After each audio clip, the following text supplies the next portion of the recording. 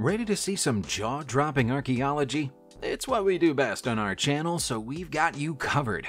Join us for a tour of some of the most amazing archaeological discoveries from all over the world. From the seemingly mundane to the outright bizarre, we've got it all. So buckle up and get ready for an adventure through time and history. The dramatic Ramesseum Papyrus is a highly significant historical document, as it's the oldest surviving illustrated papyrus roll in the world. The text is written in linear hieroglyphs and depicts a ceremonial play celebrating the coronation or Sed festival of Senusret, the second pharaoh of the 12th dynasty.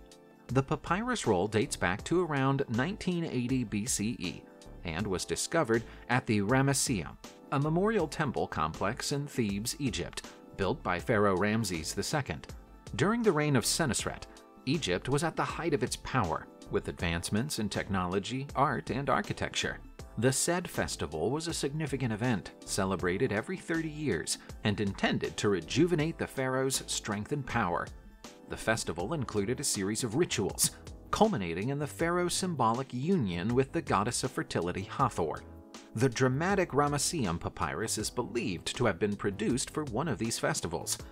The papyrus roll's illustrations are arranged in a style akin to a modern comic strip format, with the pharaoh depicted multiple times in the role of Horus, the ancient Egyptian god of kingship. It seems Senusret took the role of being a god king seriously. Next, we have the Velletri sarcophagus.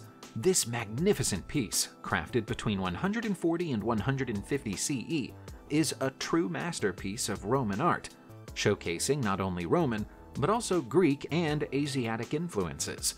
The vivid depictions of Hercules, Pluto, Persephone, Cerberus, Neptune, Jupiter, and other mythical creatures in elaborate columned registers and classic spiral fluted Doric and Ionic columns make this sarcophagus a true work of art. The attention to detail is simply astonishing. With 86 human and divine figures, including caryatids and telamons, 43 mythical creatures, and 40 animals, all telling a unique story of the afterlife. And the roof of the sarcophagus is adorned with large pediments decorated with marble, snake like garlands of fruit, and botanic garlands in stunning 3D, a truly unique feature.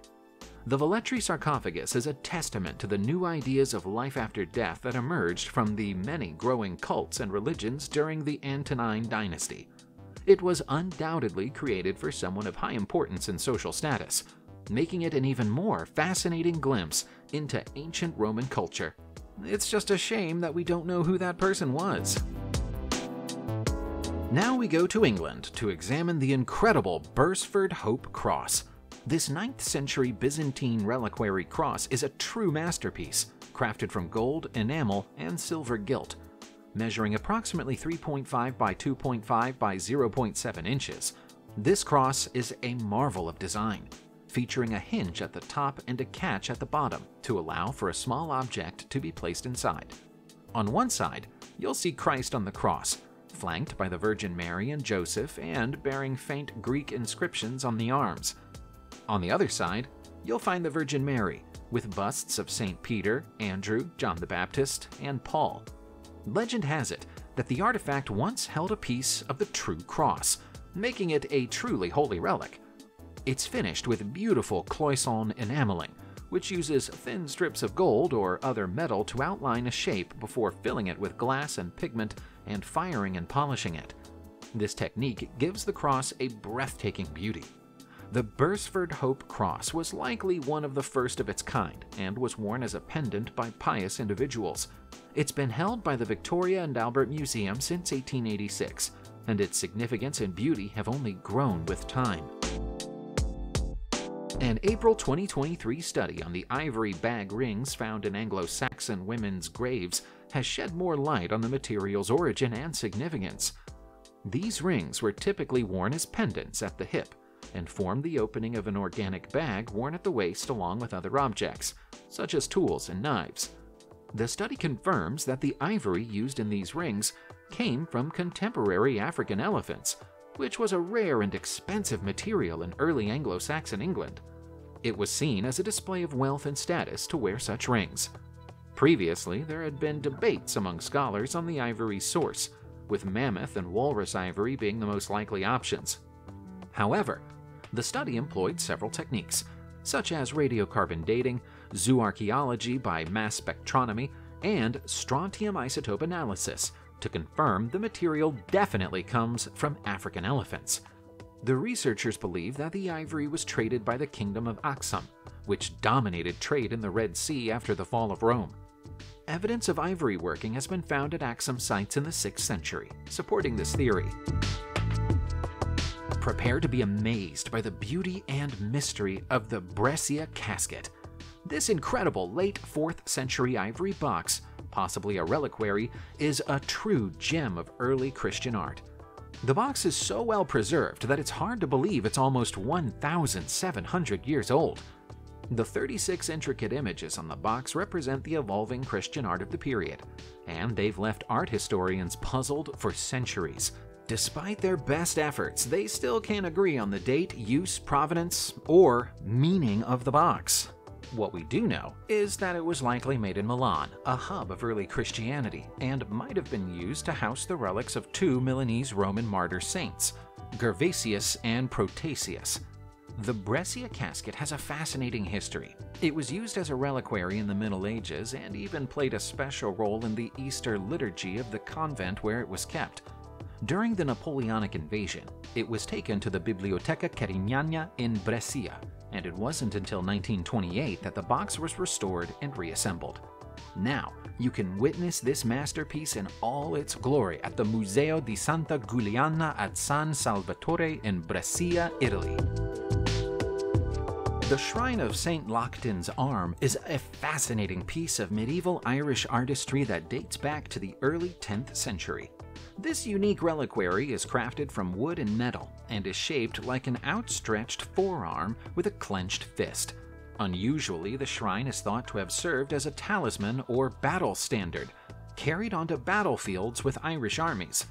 The metal plates are adorned with intricate engravings that depict zoomorphic and foliate designs, reflecting the Viking influence on Irish art during this period.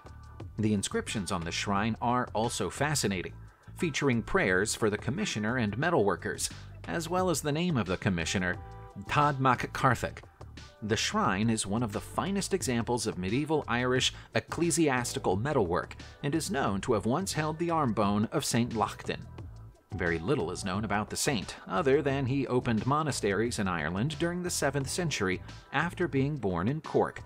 After being rediscovered in the mid 18th century, the shrine changed hands several times, ultimately landing in the collection of the National Museum of Ireland in Dublin.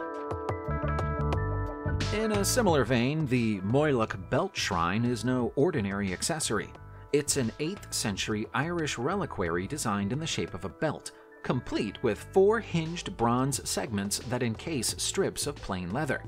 This unique piece of early Christian Irish art is a treasure trove of intricate decoration, with enamel, cross shaped glass medallions, cast bronze medallions, stamped silver inlays, animal and bird heads, and spiral patterns. But the belt isn't just a work of art. It's believed to have held a leather girdle belonging to a saint, making it a valuable relic container. The identity of the saint is unknown. Discovered by a turf cutter in County Sligo, the belt shrine quickly made its way into the National Museum of Ireland, where it remains on permanent display to this day. Some art historians believe that the belt may have been worn by people who believed it would heal their illnesses, while others suggest that it could have been worn by people seeking the favor of the mysterious saint. Regardless of its function, there's no denying that the Moylough Belt Shrine is a one of a kind masterpiece. No other Irish belt shrine has survived to the present day.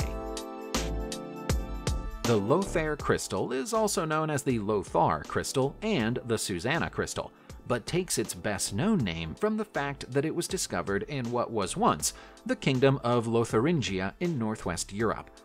Most of the former kingdom is now Luxembourg. The scenes etched into the stunning crystal, which was carved somewhere between the years 855 and 869, are inspired by the biblical story of Susanna in the Book of Daniel. The frame around it was added during the 15th century. There are eight scenes in total, showing Susanna being condemned for adultery before the intervention of Daniel, who exposed the false witnesses of the elders and then has them executed by stoning. Accompanying inscriptions in Latin explain each scene and are taken from the Vulgate Bible. The history of the artifact's ownership and the identity of the person who carved it are unknown, as there are no records of its existence prior to the 10th century. It was damaged when it was thrown into the Meuse River by French revolutionary forces in 1793 and is now held in the British Museum. The Crown of Princess Blanche is an exceptional work of art steeped in history and opulence.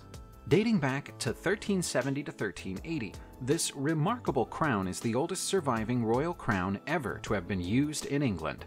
It's crafted from shimmering gold and adorned with exquisite diamonds, rubies, emeralds, sapphires, enamel, and pearls.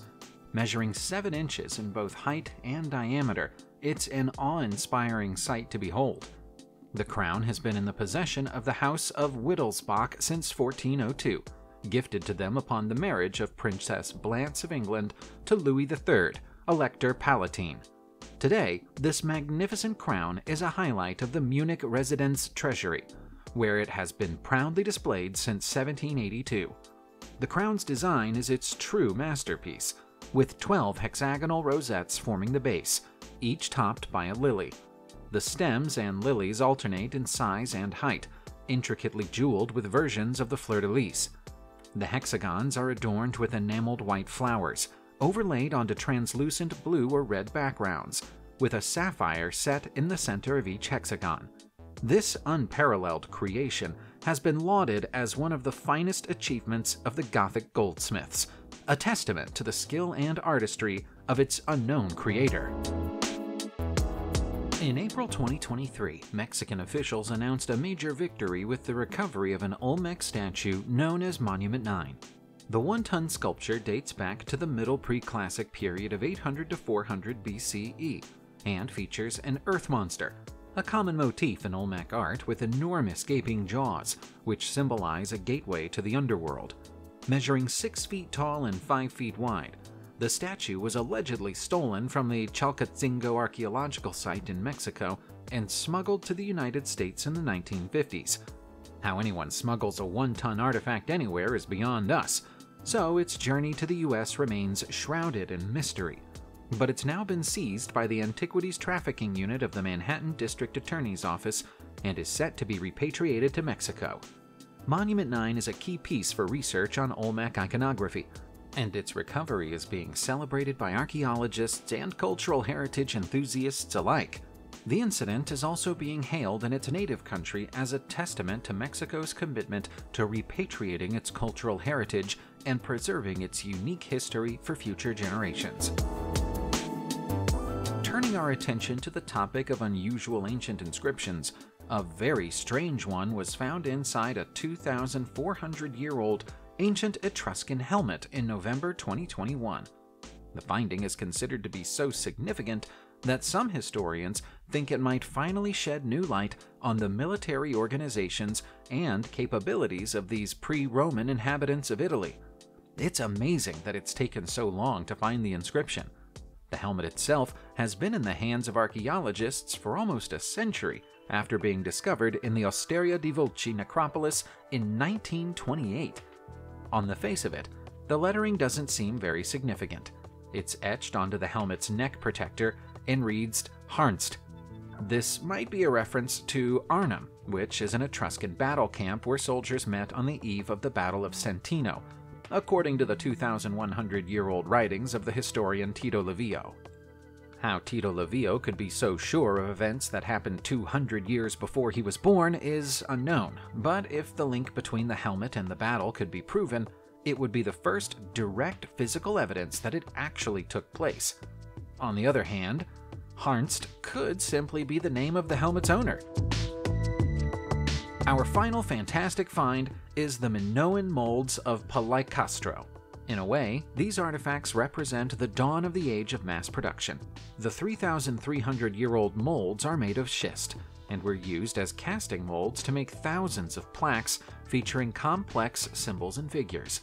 Designs that appear on the molds include double axes, opium poppy flowers, women dancing with their arms raised, the horns of consecration, and a solar disk that may have been used to mass produce a primitive tool for telling the time and predicting eclipses. The molds were found together, close to Palaikastro in Crete in 1899.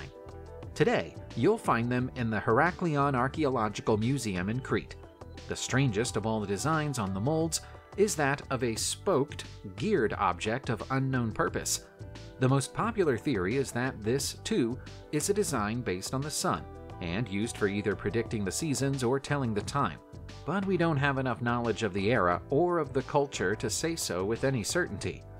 The Minoans left several incredible artifacts behind when they disappeared from history, but they didn't leave any instruction manuals to help us to get to know them better. Subscribe to the channel and turn on notifications, and you will be the first to know when a new video comes out. Thank you for watching, and see you soon.